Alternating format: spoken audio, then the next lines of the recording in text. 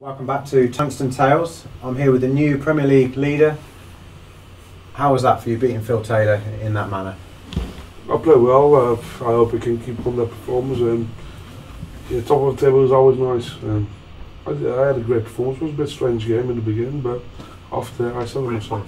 I was going to touch on that. It was a, a very strange game at the start. Neither of you could win your own throws, could you?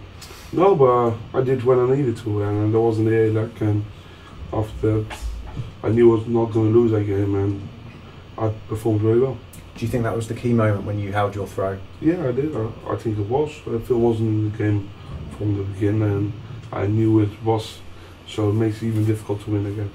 And you're in a, a, a very rich vein of form at the moment, off, off the back of the, the UK Open as well. You must be very pleased with your game right now. Yeah, I'm, I'm really, really pleased with my game, how everything is at the moment, and uh, how everything goes. And I hope I can keep the performance going up.